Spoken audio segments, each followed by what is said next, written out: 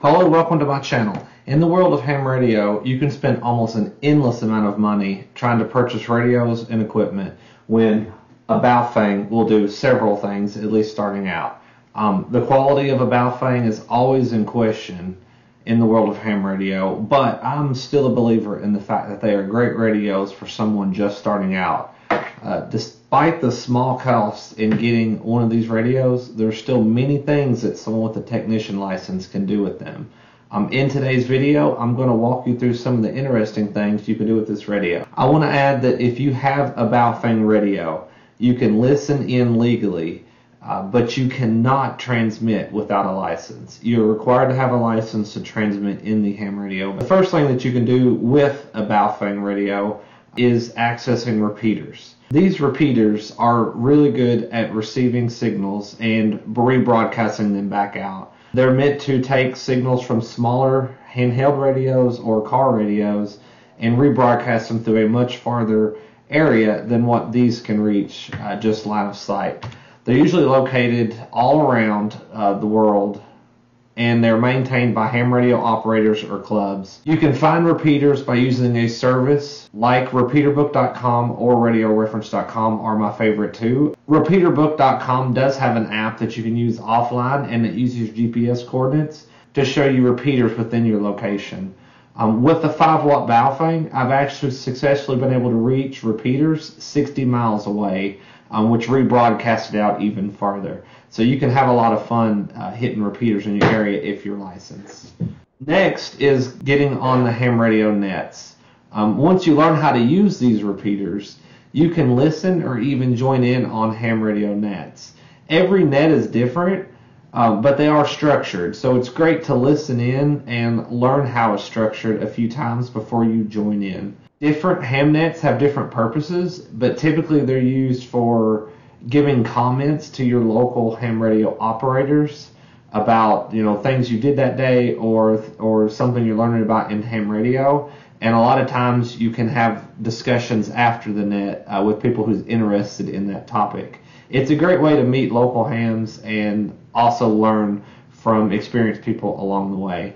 Um, another use in my local area of these nets are to buy and sell ham radio equipment. There are legalities around talking about things for sale on the air, but as long as you stay within those laws, you should be fine. These nets where you buy and sell equipment are really great because I was actually able to purchase what would have been a $4,000 antenna tower for $250. And he was happy, and I was very happy. Although this is not ham radio related, you can find frequencies using sites like radioreference.com where many frequencies around you, you can use your Baofeng to listen to those frequencies. Uh, frequencies such as the police department, the fire department, and other emergency services.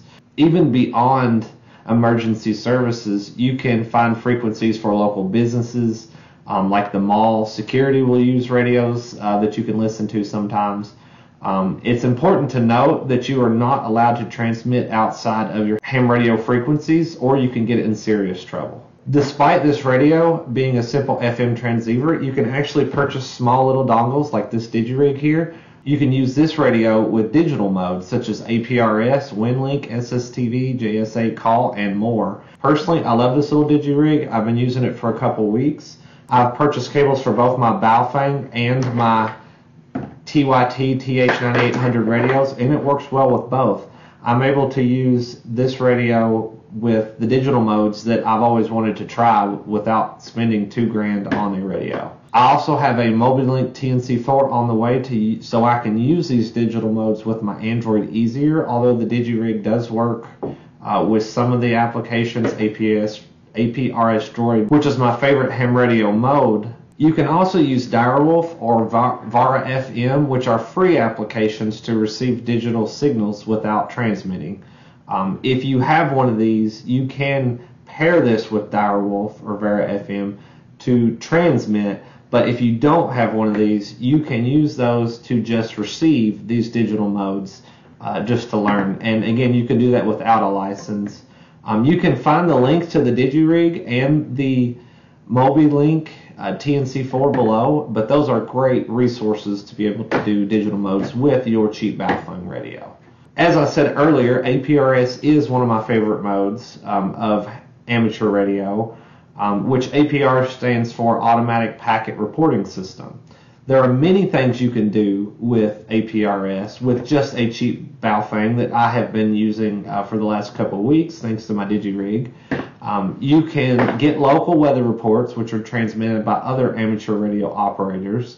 Uh, you can get position reports of those radio of those operators, um, and sometimes they even report on some of the frequencies that they're currently listening on, and you can reach out to them uh, that way, you know where they are, if you can reach them, and what frequency they're on. It's a great way to meet local people um, who are interested in the same things you are.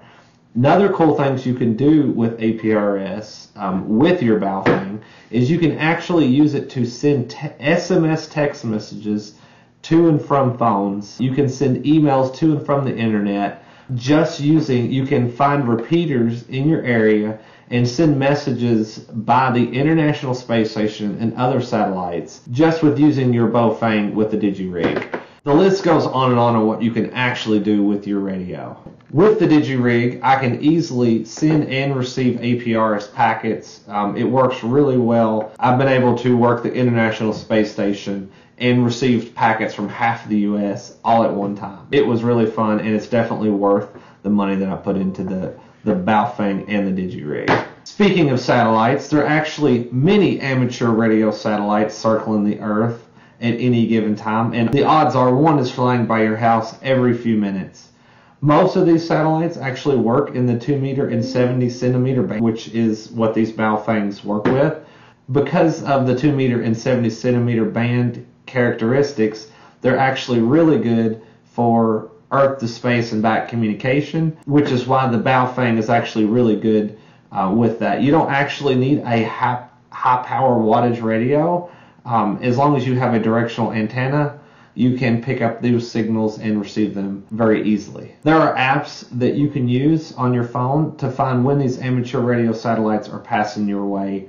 Um, they can alert you, or you can just refresh the list and see what time it's passing by. Which, speaking of, I actually missed the space station today, so I should set up alerts on my phone. One thing the Baofeng is great for is learning, and to me, learning is actually why I got into ham radio. One of the great things is you don't have to spend multi thousand dollars on radios to learn. You can learn about many different parts of ham radio with just your Baofeng whether that be about antennas, signal propagation. Um, you can explore several different bands depending on which radio you get, but several of them support 2 meter um, and 70 centimeter. And some of them, like the UVX3, even supports the 1.5 meter, which is the 220 megahertz band. There are tons of things you can use your radio to learn about without having to invest thousands. One of the things you can use your Baofeng for is learning about antennas. Um, although I've purchased the main antennas that I use, you can save tons of money and create your own antennas with things you probably already have laying around your house.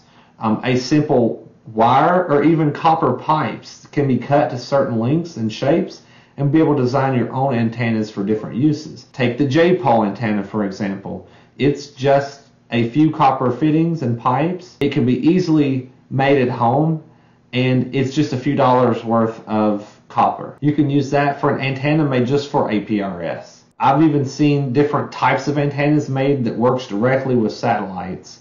You can do all this from home with stuff you have laying around without needing to spend a bunch of money, and you can hook it up to your Baofeng using a cheap cable you buy off the, the internet. Believe it or not, one thing you can actually do with your ham radio is triangulate where signals are coming from. There's been many of times that I've used my SDR dongle, software defined radio dongle, and seen all these different frequencies that has things transmitting on them. And I've always been curious where a lot of these come from. But one thing ham radio has taught me is even with a simple Baofeng, you can actually triangulate where these signals are coming from. Uh, using this with a directional antenna and some advanced techniques, you're able to triangulate where that signal is actually being transmitted from and having only a Baofeng in your arsenal does not stop you from doing that. This is just scratching the surface of things you can do with your Baofeng radio, but maybe it's enough to get you started. If you can pick up one of these DigiRigs or similar devices, it opens up a whole new world in possibilities of digital radio. Let me know in the comments below if there's anything neat you have used your radio for that I may have missed. I'll see you next time.